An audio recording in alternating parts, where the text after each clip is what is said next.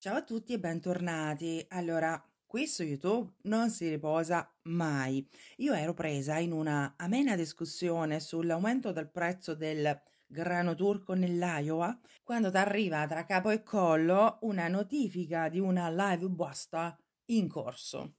E quindi sono stata subito pervasa da una girandola di sensazioni quali curiosità, ansia, stupore entusiasmo, beatitudine e fiducia. Cioè, ma fiducia in che cosa? E eh, che cosa? Che fiducia nel fatto che neanche stavolta mancheranno le offese per i canali di scolo. Eh, però in tutto questo ci siamo dimenticati di dire il titolo della live, che avete rotto le palle. allora, torniamo. Credo sia una live buasta. C'è la Chiara in live che sfoggia uno scollo vertiginoso e sta letteralmente friggendo per poter raccontare l'accaduto. È abbastanza impaziente verso gli utenti perché gli dice proprio muovetevi ad arrivare perché già mi sono rotta il cazzo. Cioè, ma come si fa a darle torto quando lei stessa si definisce dolce, semplice, spontanea, cazzuta? Onesta e sincera. Tira bruttaria, insomma, tanto che pure la Luciana prova ad esonerarsi, ma non le viene concesso. Niente da fare, deve stare lì a schiattare esattamente come noi. E finalmente si parte. Lei fa presente che sono stati in visita dai suoccerini e si è scatenato un vero e proprio putiferio. Dice sì, ma dove è successo tutto sto casino? Sotto il canale di Chiara? Ma assolutamente no, perché Chiara ha i commenti in approvazione. Il casino si è svolto sotto il canale di Davide, perché Davide non ha i commenti in approvazione e addirittura sono arrivati a dire che loro due, cioè Chiara e Davide, tenetevi forte, prendono il reddito di cittadinanza.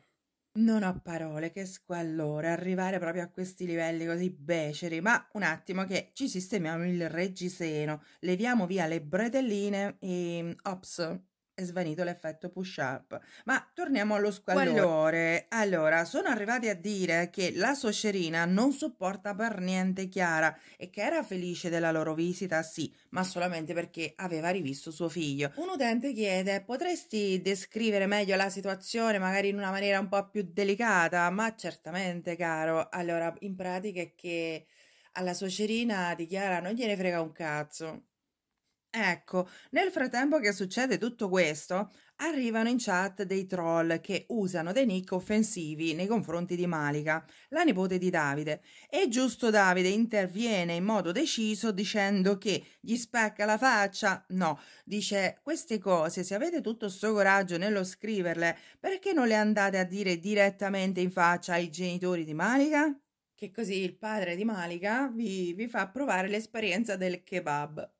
Intanto che Davide battaglia in chat e difende sua nipote Malika, Chiara in live difende suo marito Davide dicendo Basta, state sempre a dire che lui è ritardato, siete proprio perfide, ecco perché nessuno vi si accolla. E poi date della strega a me, ma per favore. Detto da voi poi che siete isteriche, acide, pettegole, frustrate invidiose, arrapate e cesse. E beh, direi che eh sì, effettivamente un bel quadretto, ma, ma torniamo al cazziatone. Tutta questa invidia, ma da dove nasce? Dal fatto che non potete avere uno bello come Davide. Oddio, qui ci sarebbe da replicare, ma voi desiderate, bramate un uomo disinibito e insaziabile tra le lenzuola, come pure sul piano della cucina, come pure tra i cuscini del divano, come tra bidet e gabinetto, esattamente come Davide.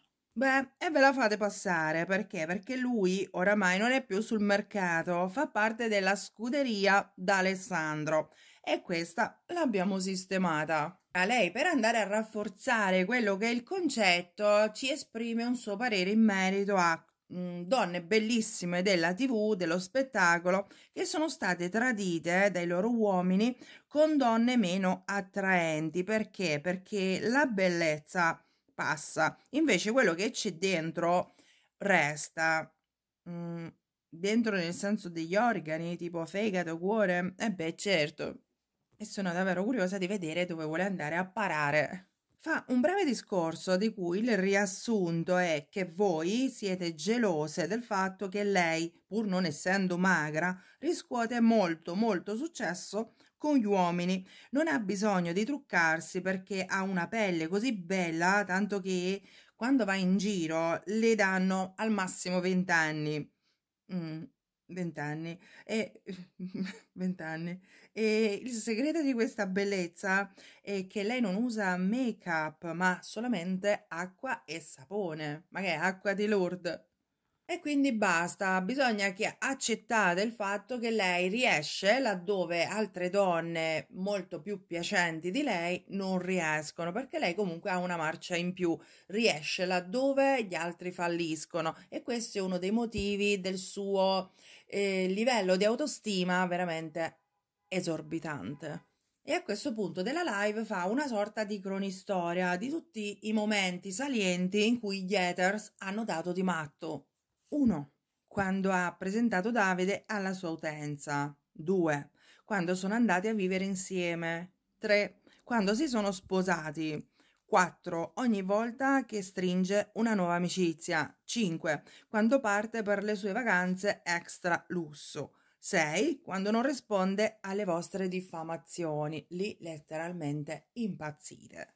Vabbè, questo adesso è quello che fate voi, ma cosa pensa lei realmente degli haters che giorno dopo giorno vanno lì ad attaccarla? Lei pensa che siete cattivi, patetici, repressi, frustrati, ignoranti? e inappagati della vita di merda che avete.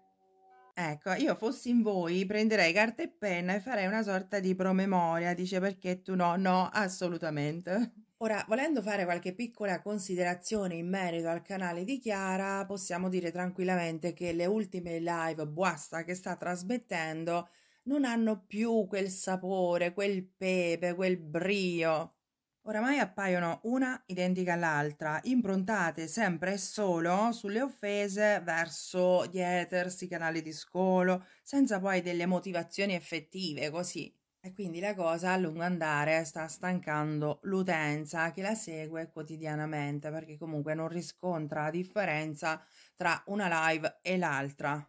Mentre per quanto riguarda il discorso novità in arrivo, Pare che tra circa due settimane Fate sarà a Milano e le due andranno a fare spese insieme al Primark. Ora, per la verità, io ero rimasta al fatto che le due si fossero dissociate, o meglio, che Chiara si fosse dissociata da Fate quando giravano dei video con le malefatte di Fate, tanto che l'aveva pure levata dal ruolo di moderatrice. E quindi non so, credo di essermi persa qualche passaggio, a meno che non c'è stato una sorta di chiarimento in privato tra le due. Bene, e questo voleva essere un breve riassunto di quella che è stata l'ultima live buasta trasmessa nel canale di Chiara d'Alessandro, quella col titolo Mi avete rotto le palle. E quindi a me non resta che augurarvi buona continuazione di giornata e darvi appuntamento a quello che sarà il prossimo contenuto. Nel frattempo, un bacio a tutti da Gossip.